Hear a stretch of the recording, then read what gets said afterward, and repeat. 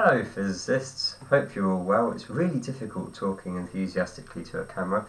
Um, welcome to this series of videos. We're going to look at all the different derivations that are in the A-level specification for A-level AQA physics, starting with this one here.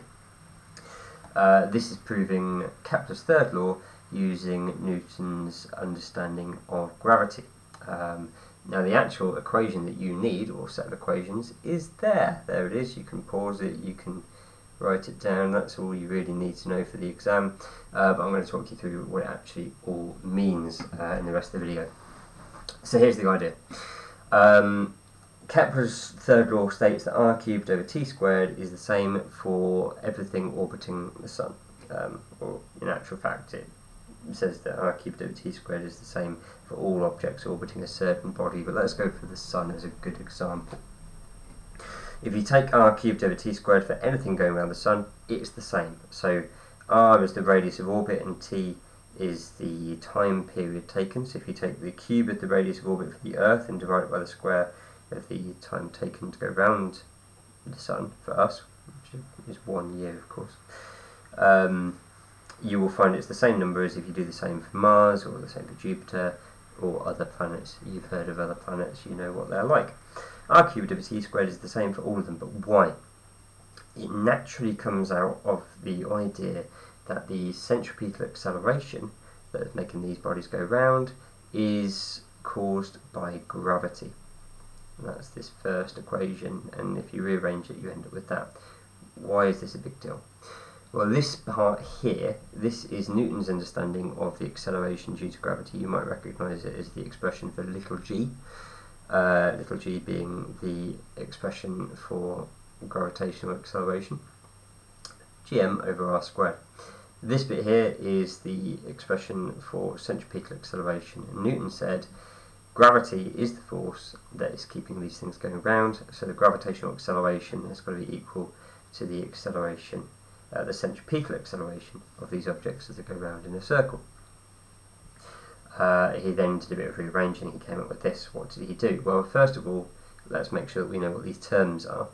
Uh, capital G is the constant of gravitation, uni Newton's universal constant of gravitation. It's about 6.67 times 10 to the power of minus 11 Newton square meters per square kilogram. M is the mass of the object that we're orbiting, r is the radius of the orbit and v is the uh, velocity, not the um, not the angular velocity, just the regular distance over time kind of velocity. Uh, and that's what we've got here. We've got distance, which is 2 pi r, the circumference of the orbit, divided by capital T, the time period of the orbit. That's how that one works. So what we're going to do now is just uh, substitute that in, do a bit of rearranging and end up with this and everything is going to be wonderful. So this 2 pi r over t is going to go in there. Before we do that you might have noticed um, I've instead of got having an r squared down here I've got an r down here. Basically all I've done is I've noticed that this is divided by r squared and this is divided by r so I've just got rid of an r on both sides. Uh, and then the second thing I've done is instead of having a v squared I've actually substituted in this 2 pi r over t and squared all that. So instead of having v squared, I've got 2 pi r all squared over t squared. So there's our next line.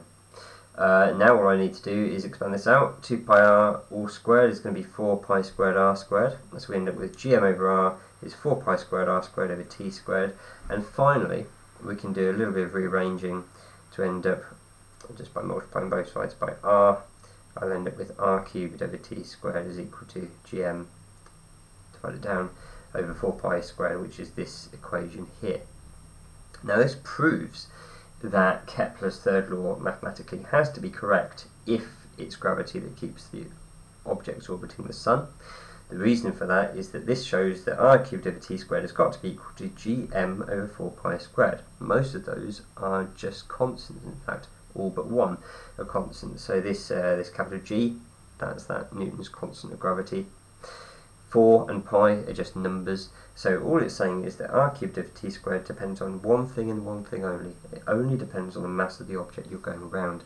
So if you go around the sun, for example, um, all the planets going around the sun will all have the same value of g over 4 pi squared because they're all going around the object, which is the sun, um, and it will be the same mass of the sun for each object going round the sun. That's how that works. Uh, you can put the numbers in if you want. The mass of the sun is 2 times 10 to the 30 kilograms. Uh, you know what g and 4 and pi and the little squared thing are. It will just give you a, a, just a number. So all objects going around the sun will have a certain number that their RQ squared will have to be, uh, and that shows why Kepler's law has to be correct. Uh, and there you are, there's that first derivation all sorted. Easy. Really wish I hadn't that.